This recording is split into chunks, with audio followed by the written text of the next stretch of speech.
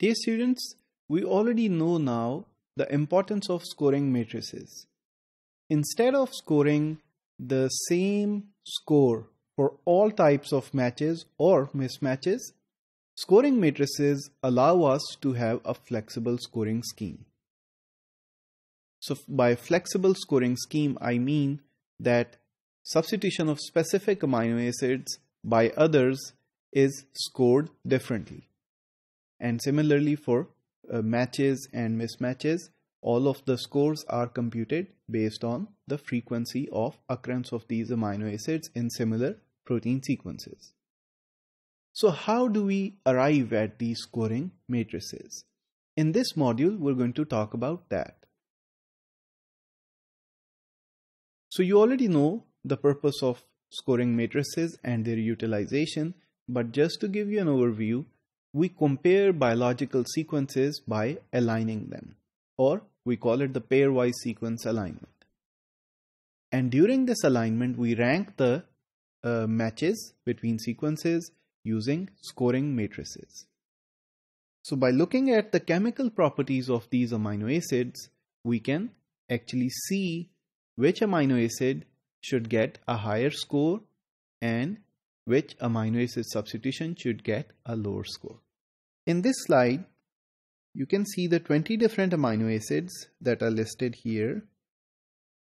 And in this colorful diagram, you can see their chemical properties as well.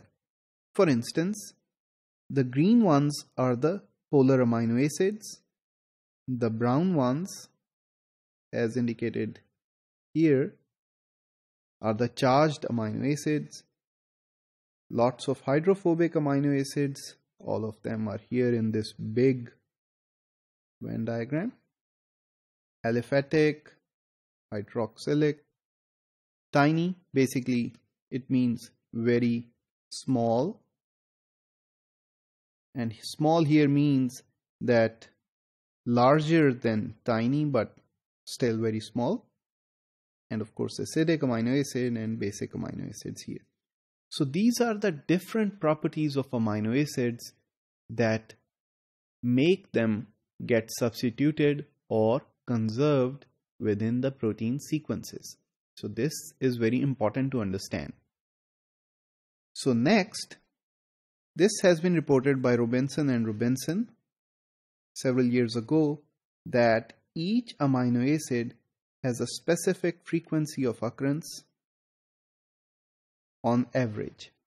So it means alanine has about 0.078 occurrence on a scale of 1 and similarly arginine, asparagine, cysteine and you can look at this entire table like that. Now how did they compute this frequency? So what they did was they took up similar protein sequences and counted the occurrence of each amino acid and normalized it between 0 and 1. So let's see how to compute this matrix. Let's assume that we live in a very simple world and we only have three amino acids. You, as you already know, there are 20, but just to simplify the problem.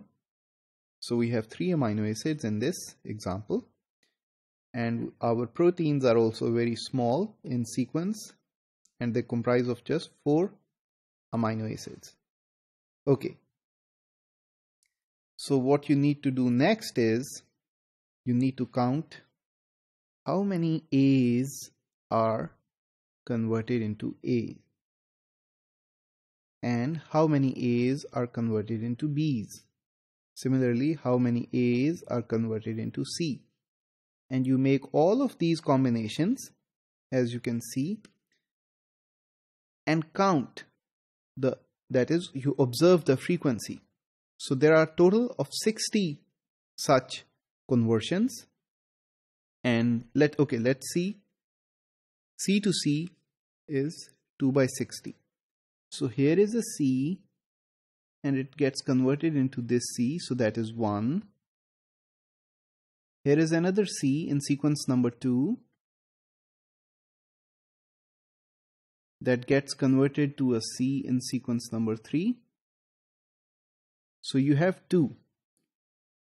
Okay, if you want to consider, let's say, B to B, so you have six B's going to other B's out of a 60. So let's count them just to help you practice.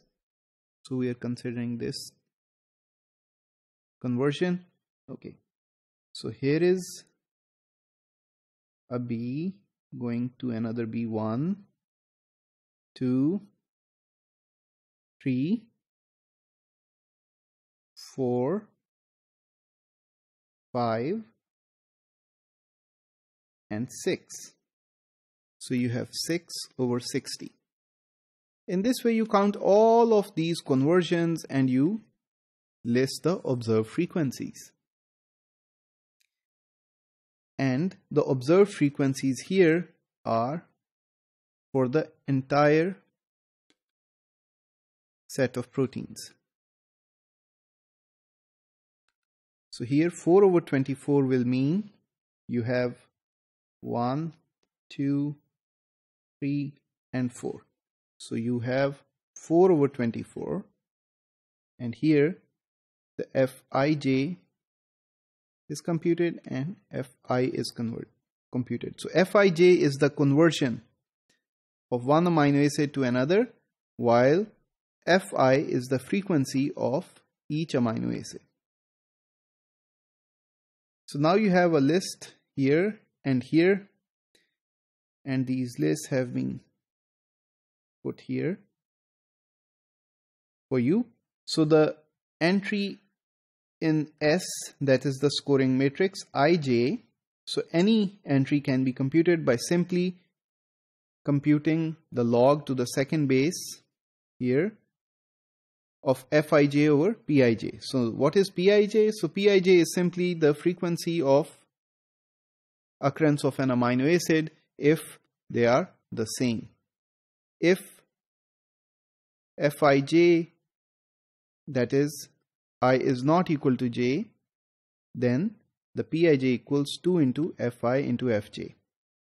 So this will help you compute Pij and Fij is already with you that is here so Pij is here now and you can compute 2 times Sij that is here and you obtain the scoring matrix. If you note carefully then each element is an integer. So we have converted all elements in Sij into integers. So our scoring matrix for our small 3 amino acid world is given here. So in conclusion, based on the frequency of certain amino acids, we can compute the scoring matrices and then we can use them to compare sequences that are given to us later for comparison.